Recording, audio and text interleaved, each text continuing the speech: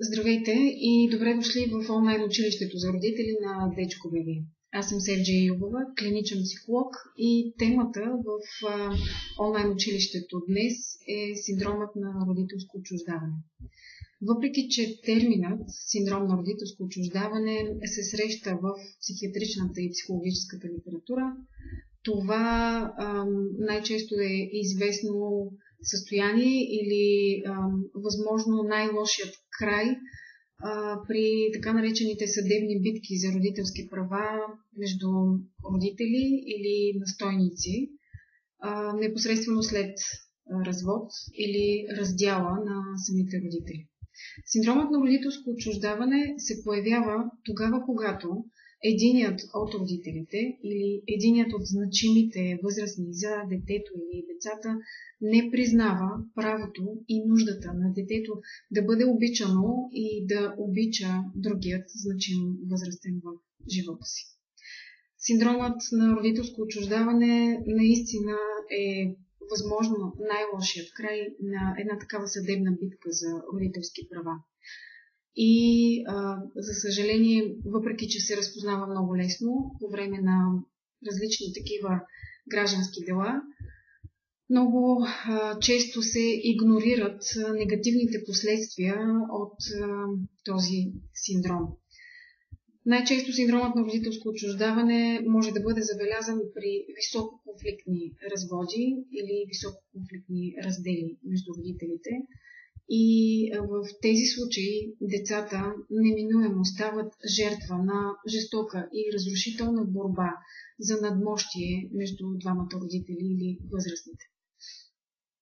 Това, за съжаление, е една война, в която децата не могат да спечелят. Това е война между техните родители или настойници. И това е война, в която децата не могат да се защитят. Защото врагът всъщност в тази война е единият от важните за тях хора, най-често родител. Това е някой, когато те обичат, но това е някой, от когото зависи физическото им оцеляване. И поради тази причина, така нареченото програмиране на децата и обръщането им срещу другият важен за тях възрастен родител става много лесно, защото се касае за тяхното не само психическо, но и физическо оцеляване и задоволяване на техни базови потребности. Две групи са основно засегнатите или две групи са лицата, които участват в целият процес на отчуждаване. Разбирате, най-често това са родителите, но това могат да бъдат и други възрастни хора, които полагат грижи за детето а, или настойници. Това могат да са баби и дядовци. А, при децата, участници в синдром на родителско отчуждаване, задължително този синдром се свързва с загуба. Задължително има преживяване на страх, на объркване, на тъга, на отчаяние. Наблюдава се депресивност при тези деца. Въпреки, че синдромът на родителско отчуждаване не е включен в нито една от международните класификации за болестите, нито МКБ-10, нито DSM-5, има достатъчно основания този синдром да бъде прият дори като форма на насилие над децата. Защо казвам, че може да бъде прият и какви са тези основания? Едно от най-важните, чисто като специалист по психично здраве, е, че децата биват ограбвани от много специфична връзка, която е връзката с другият родител или значим възрастен. Връзка, която е осигурявала сигурност и привързаност и е била споделяна по време на периода на отглеждане с детето. Защо също казвам, че може да бъде възприето този синдром като насилие? Защото в съзнанието на децата или на детето се вграждат лъжливи твърдения относно родителят, който е цел, към когото се изгражда враждебност и а, негодование. А, най-често а, тези твърдения са свързани с а, емоционални твърдения, лъжливи, които са от типа на а, майка ти никога не те е обичала, баща ти никога не те е обичал, никога не се е грижил за теб, и подобни твърдения, които нон-стоп и постоянно се пресъздават в разговори с самото дете. Процесът на настройване на детето и изграждане на тази враждебност към родителя цел всъщност включва не само такива лъжливи твърдения, не само лъжи, но понякога включва заплахи от типа на никога повече няма да те обичам, ако не правиш това, което аз ти казвам. Включва манипулации и изисквания от децата да правят неща, които не са типични за тяхната възраст, да мислят, да дават мнение за неща, които не би трябвало да се изискват от едно дете. Често могат да включват лишения като тип наказания, дресиране на самото дете. И освен това, в някои така много редки крайни случаи на синдром на родителско отчуждаване могат да бъдат наблюдавани и ам, може да се случи физическо насилие. Другата група участници а, в а, а, този процес на отчуждаване е така нареченият отчуждаващ родител или възрастен, който ви казах, може да бъде някой баба, дядо или друг значим възрастен в живота на детето, който всъщност има настойнически права.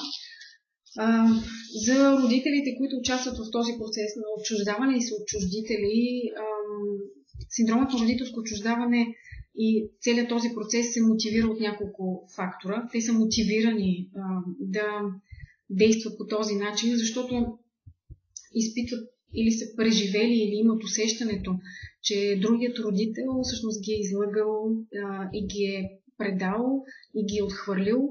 А, възможно е синдромът на родителско отчуждаване да се провокира от желанието за отмъщение, от желанието за надмощие, за печелене на съдебният спор. А, също е възможно да се провокират такъв тип поведения от ревност, от страх, от несигурност, от гняв, разбира се, не липсват и финансови мотиви. Има случаи, в които децата се настройват срещу другият родител с цел да се получат по-големи финансови облаги по, по време на съдебният спор. Или има някакви имотни интереси, заради които психическото състояние на децата бива жертвано с цел да се получат тези облаги. Каквито и да са мотивите обаче при а, отчуждаващите родители, това, което ясно се наблюдава в практиката и при изследването на такива родители, е, че при тях се касае за много силен, много сериозен родителски дефицит, при който родителите не просто не могат или възрастните не, просто не могат да се справят с а, възникналата ситуация, но а, очакват от децата поведение, което не е характерно за тяхната възраст и изискват поведение, което не е характерно за тяхната възраст. Едно от най-точните определения за синдром на родителско отчуждаване а, включва точно това преднамерен опит от страна на родител или друг значим възрастен да отдели детето от другият родител, като същевременно включи детето в процеса на разрушаване на тези специфични афективни и семейни връзки, които са съществували преди това. Тоест, трябва да разбирате синдрома на родителско отчуждаване не само като поведението на родителят, който отчуждава, но и самото поведение, което детето формира а, спрямо а, родителят, а, родителят цел. Процесът на отчуждаване, разбира се, не става за един ден, той отнема време. И ако е в много ясни измерения, той може да бъде видим по време на такива висококонфликтни разводи, раздели и по време на такива съдебни дела. Има случаи обаче, в които синдромът на родителско отчуждаване е на лице дори в семейства, които не са разделени. Има няколко характеристики, които трябва да ви направят впечатление и тези характеристики описват формирането на такъв тип синдром и такъв тип поведение в семейната система. отчуждаващият родител или отчуждаващият възрастен си позволява да говори много лошо и враждебно за другият значим възрастен пред самото дете, като не се изкъпи за различни обидни термини, думи и не спестява никакви подробности от конфликта между двамата родители. Запознава в детайли детето или децата защо бракът или съюзът или семейството се е разтрогнало и разбира се, не се пропуска да се подчертае, че вината за всичко, което се случва, всъщност е на родителят цел. Родителите, освен това, които са ангажирани в процеса на отчуждаване на детето и на формиране на такава отчужденост, не спестяват подробности от съдебните дела и много често при разговори с деца, които са били подложени на такъв тип програмиране, прави впечатление един много специфичен речник, понякога чисто съдебен, понякога чисто психологически или социален, във връзка с неща и информация, която отчуждаващите родители в детайли са споделяли с децата. Впечатление прави речникът на тези деца. Той не е типичният детски речник. Интересите, които децата споделят, не са типичните детски интереси. Цялото им внимание, целият им живот сякаш е фокусиран върху конфликтите с родителят, който са, който отчуждаващият родител е посочил като враг и като виновник за създалата се ситуация. Не липсват също различни споделяния от страна на децата за конкретни финансови проблеми, с които се товарят децата и на тях им се обяснява, че различни лишения или различни промени чисто битови житейски в а, около ситуацията, свързана с разделата между родителите, е причинена от конкретният родител и вината, а, и вината всъщност е а, този родител. А, често могат да бъдат чути и неверни твърдения за различни емоционални, физически и понякога чисто сексуални така, обвинения спрямо родителя цел. И едно от нещата, които винаги се забелязва в контактите между тези, в тези отношения между отчуждаващ родител и дете, е, че не се пропуска да се обясни на детето и да се убеди, че трябва да се съюзи заедно с този родител, за да, за да могат да победят другият възрастен, който се цитира като враг и като виновник за цялата ситуация. Често по време на наблюдение на отношения между такива родители с децата им прави впечатление как децата са и наизостили това, което трябва да споделят с експерта, с психолога или с съдията, или с адвокатите, или с социалните работници. Буквално се декларира какво трябва да се каже и много често децата търсят одобрение от отчуждаващият родител, поздравления, че са справили добре, че един вид са изпълнили това, което това, което им е поръчано. Сравняваме, сравняваме поведението на тези деца, които са изложени на синдром на родителско отчуждаване. Говоря за най-тежките форми.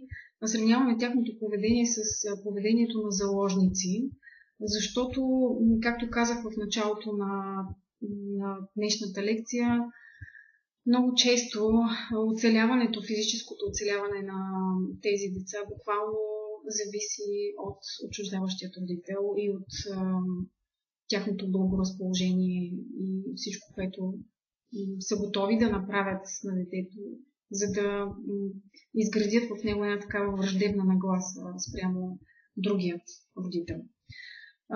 Едно от нещата, които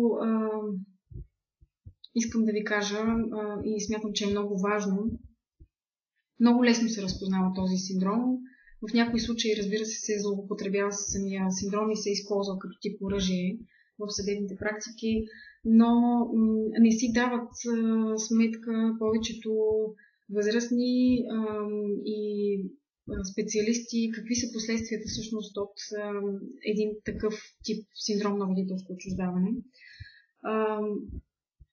Децата, които са подложени на, такава, на такива продължителни конфликти и на ам, връжда между своите родители, разбира се, че страдат, разбира се, че тяхната нагласа към живота се променя, но искам да обърна внимание на факта, че децата много често биват въвличани в такъв тип поведения и такъв тип враждебност, тогава когато изпитват вина по отношение на раздялата и по отношение на неблагополучията в семейството между двамата родители или възрастни, които са ангажирани с грижи.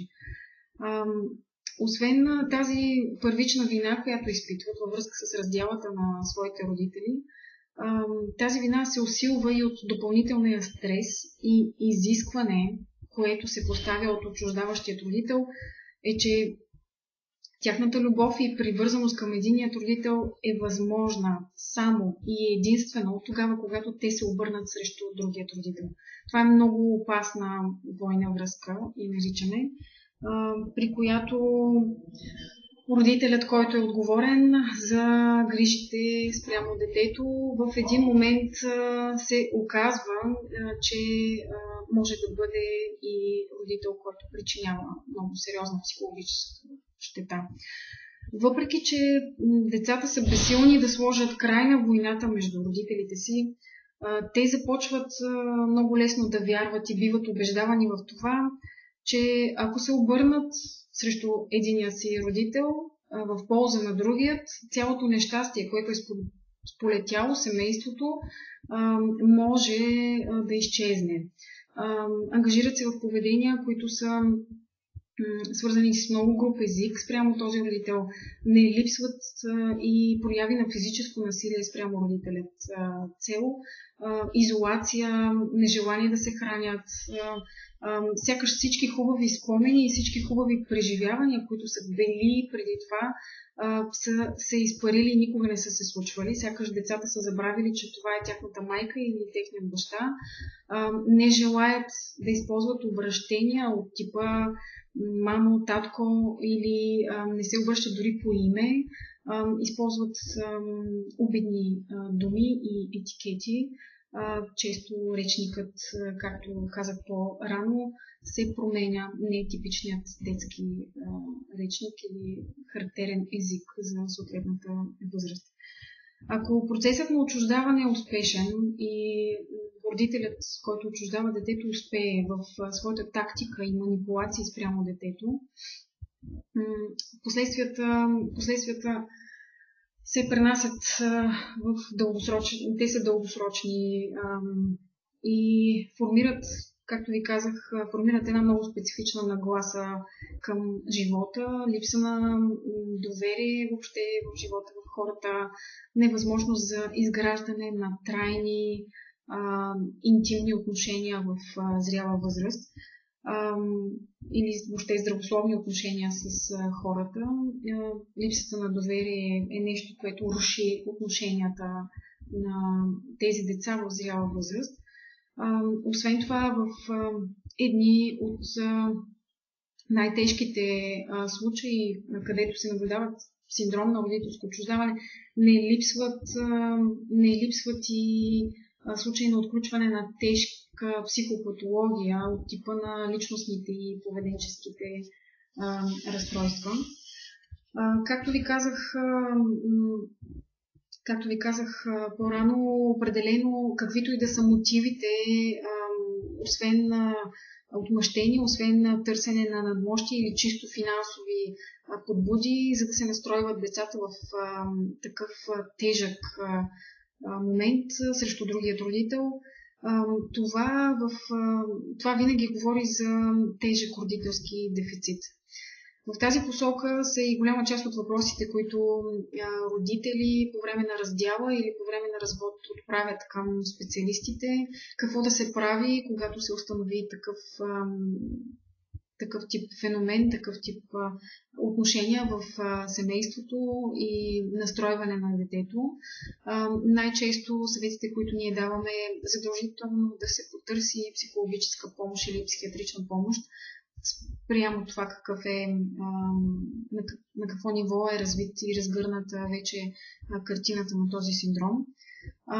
Една от препоръките, които често даваме родителите да се включат в така наречените училища за родители, където ако е на лице родителски дефицит, по някакъв начин да се компенсира и да се подкрепят самите родители в изграждане на по-здравословни взаимоотношения с техните деца и подкрепене на децата в такива трудни житейски моменти, каквито са, разбира се, раздялата между партньорите или разводът между родителите включването в такъв тип училища или работилници за родители ще помогне не само на самите възрастни, но и на, но и на децата, които са ангажирани в този конфликт. Друга препоръка, която даваме много често е, когато синдромът вече се е разгърнал, е да се води дневник от самите родители за неща, които са се случвали. Защото, както ви казах, децата, ангажирани в такъв тип поведение, имат склонност да забравят всички хубави моменти, всички приятни преживявания, сякаш са заличени, умишлено снимките са скъсани, подаръци, които са предоставени от родителите са унищожени или скрити комуникацията може да бъде поддържана по много начини, благодарение на техниките, с които разполагаме. Могат да се пишат периодично имейли или да се води някакъв сайт. Много често родителите правят това. В определен сайт изписват всичко, което се е случило около целият този конфликт с цел един ден детето, когато вече не е под влияние на отчуждаващият родител и има желание да прочете какво всъщност се е случило и ако има този капацитет вече да, да осмисли какво, е, какво се е случило с родителите или с, с самото дете.